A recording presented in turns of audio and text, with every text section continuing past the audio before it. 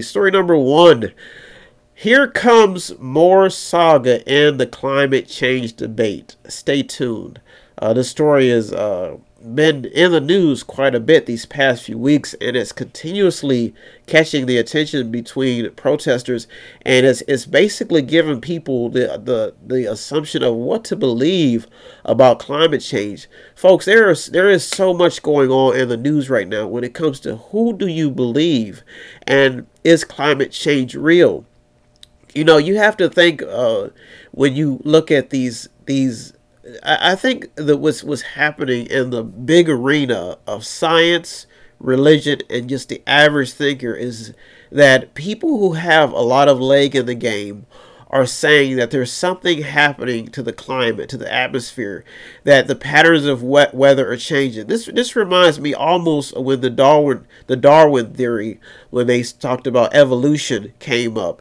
I think that there are so many spectators, so many people when it comes to the ball field of believing if there is a higher power, and, and this debate about climate change is is staying alive. It's been I've, I've each each week I've seen in quite a few stories.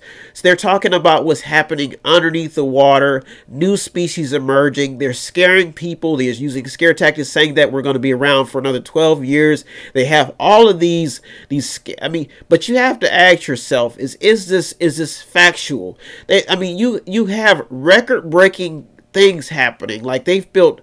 30, they spent 13.6 billion on solar power in Dubai. It's a solar power project. Then you have all these companies investing in, like, I think Adidas is now creating a recyclable shoe. So, it, it, it the, even, even with this Green New Deal, so people are saying that climate change is real and that it's going to affect us in a big type of way. They're even, this climate change material, if you want to call it, or uh, this climate change book is getting so big that it's creating so many different types of of, of it's almost like a you know I, I was watching um uh, I went to the movie theater last night to watch the new movie that just came out and everybody has a theory about time travel and that was basically what the movie. I don't want to give the story away. I'll let you go see it yourself. But the new movie just came out, the superhero movie. But in in the ball field of evolution, religion, and climate change, and the world, nobody really has a definite answer because we because we as human beings have not been here long enough. We don't even we're still finding out about civilizations that were here before us. So people are, are making these these uh, facts, and, and it's creating it's creating riots. It's creating uh, not just riots but protests of people. There and it, they're, what they're trying to say is now they're trying to get uh, teachers to start teaching about climate change to children at an early age. Now, back in the day, when I was a child, we did have Earth Day. We did have things that taught us about pollution. And then you just had some kids who just don't care. So that's what you probably. And then you have, but you have all of this new data, all this new research about asbestos and about. They, there was even a story that surfaced about Johnson and Johnson.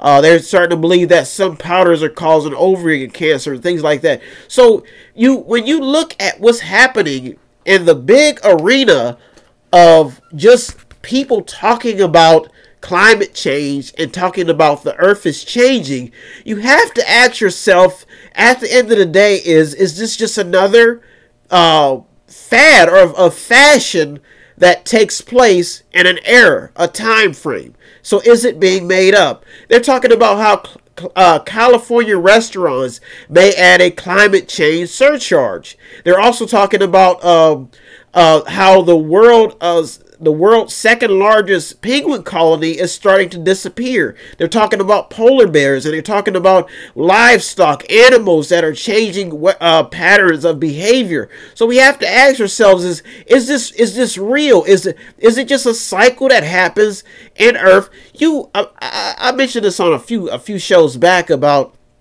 how back in the day they would have uh, these. Uh, they would have these uh, droughts. They would have, uh, and they they'd have them in the almanac where there'd be a time frame where the water would be drying up and then they'd have to they they start doing rain dances. So excuse me. Now that we are in this this new age of technology that science is basically ruling everything out. There's no room for thought. And they're starting to find out this about even children, about people's beliefs and how people are becoming radicalized. So you have all of these pools of thought uh, kind of intersecting, and nobody really has a right answer. Nobody has a definite answer. And it is creating so many different ways to teach the next generation that the kids probably will probably be unsure of whether climate change is really real or not. You're going to cut off all carbon emissions. You're going to cut off all fossil fuels to energize the population. People report about solar panels that break, they can't replace them. People report about windmills that don't work, that uh, they spend all this money investing in clean energy, the windmills break down. So, how are you going to fuel a population? Then you have people who have got filthy, filthy rich off of this one topic in general. So the climate change saga is just heating up because we're about to go into another election. And folks, people are getting more and more they're starting to get that common sense and they're starting to really guard their pocketbooks because they don't want to invest in these shams i mean if it's a sham if if if it is really real now i believe in pollution I believe that pollution is a problem. I believe plastic is a problem. But when you're talking about is, is are the seasons changing or is something happening to the earth? Maybe it could be. Maybe we could just be going through a cycle.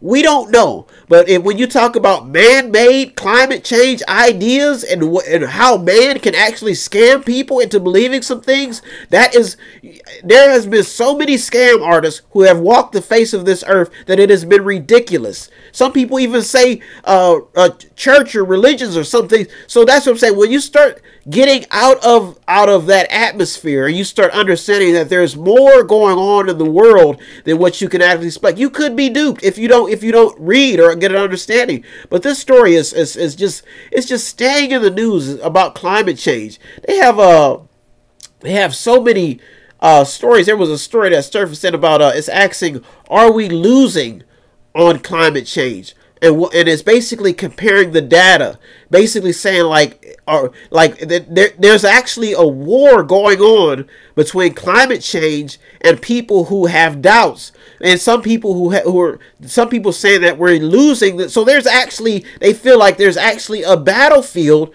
uh, going on with climate change and you get you get i'm telling you, you get all these thinkers you get top level scientists top top level investors. They're they're talking about how greenland is melting and how it's causing sea levels to rise. Folks this is this is creating so much confusion because nobody knows what to believe. They're talking about all of this i mean you're talking about sensitivity at its finest. And and, and the, the the whole the whole uh what to say traditional way of providing energy is changing. I think even in ohio there was some st- stories that surfaced about the nuclear facilities up in toledo how they're going to care for the waste and uh, so when you look at, the, uh, at how how energy is provided to the masses folks you may see these stories changing because they're bringing it into the political arena. And if you don't, if you haven't been keeping an eye, the political arena is dirty. When it comes to votes, these people will do anything to get a vote. They will cater. To, they will tell you things that you will start believing,